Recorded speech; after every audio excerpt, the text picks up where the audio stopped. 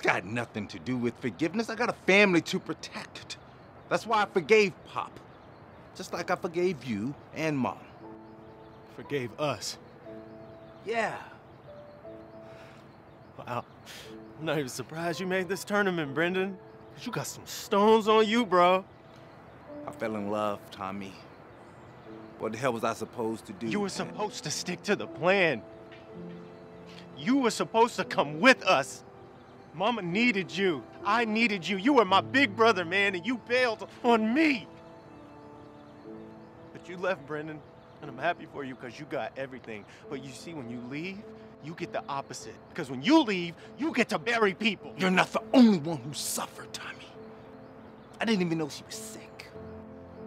I didn't even get to say goodbye to my own mother. You believe that? You had no right to keep that from me. It wasn't your decision. You know what? You come here with your wallet and your, your pictures and you talk about all this forgiveness, forgiving me and Ma and Pop, but you, you're so full of shit. Are we done, Brendan? We finished? Yeah.